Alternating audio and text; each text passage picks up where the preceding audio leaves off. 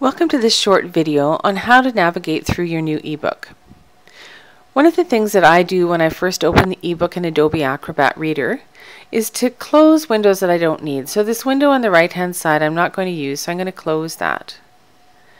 You'll notice that the table of contents for the book opened automatically for me on the left hand window, but this may not always happen. You may have something that looks more like this showing the book cover.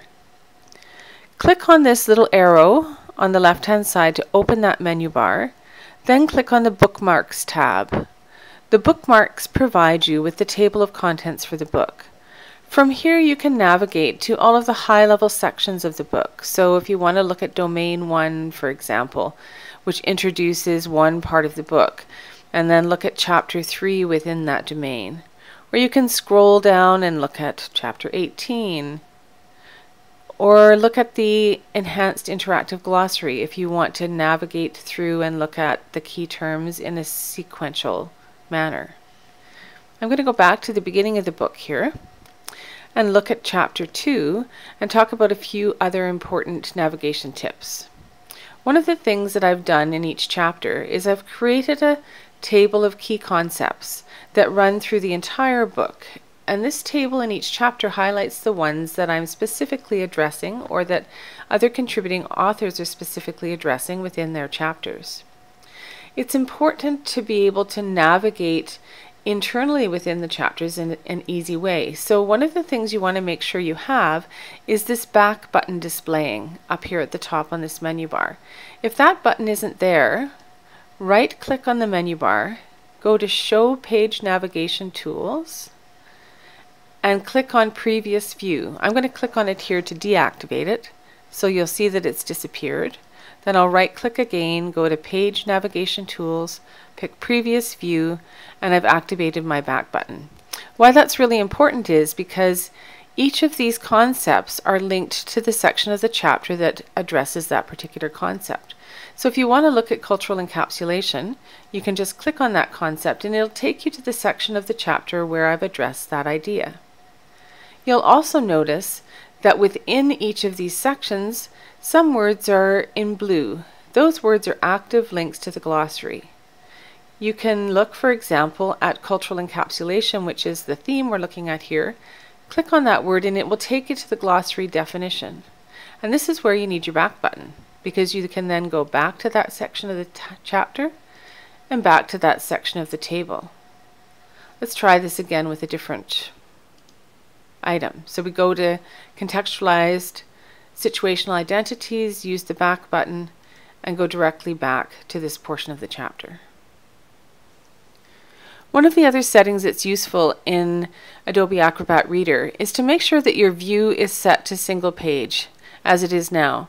So if I went to page display and set it to two page display, you can still use the book, but some of the functionality is a little bit tricky because when you click on something like, um, let's go back to cultural encapsulation, it takes you to the page where cultural encapsulation shows up, but it doesn't take you to directly to the top of the section that you're supposed to look at, which is much more functional in the single page view.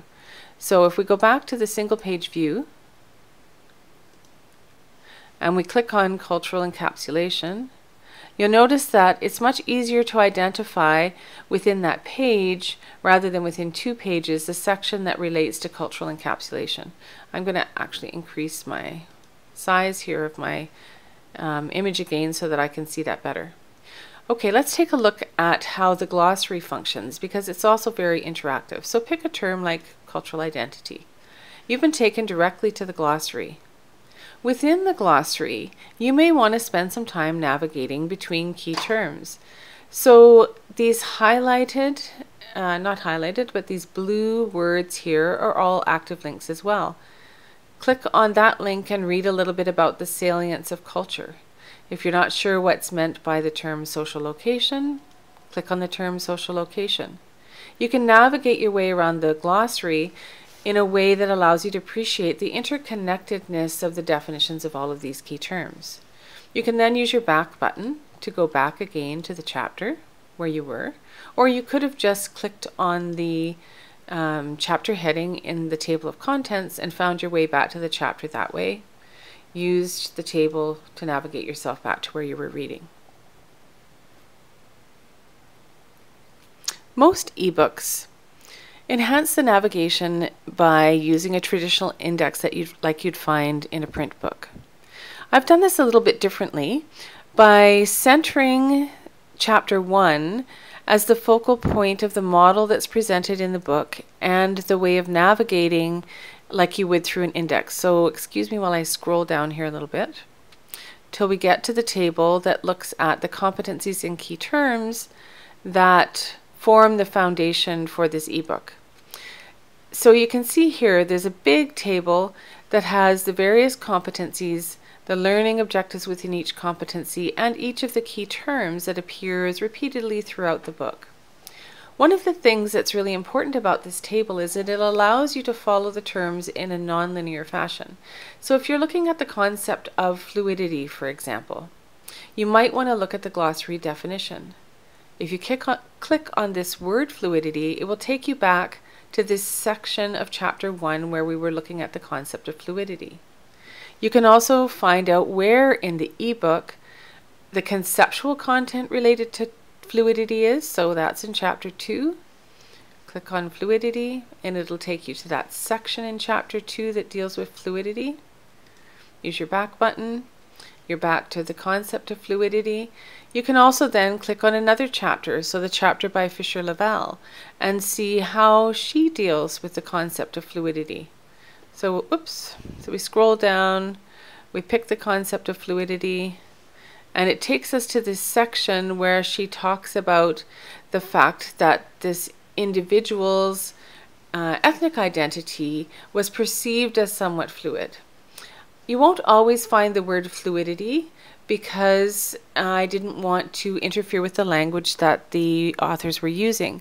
But I've highlighted a word in here that the concept that this person could pass as white as part of the concept of fluidity. So if you click on that, it'll take you to the glossary definition of fluidity. Let's go back and look at another example. So we use the back button to click back and we get back to our concept of fluidity.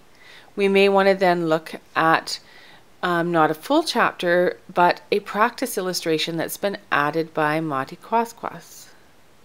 And here you can see how he has addressed the issue of fluidity in terms of religion.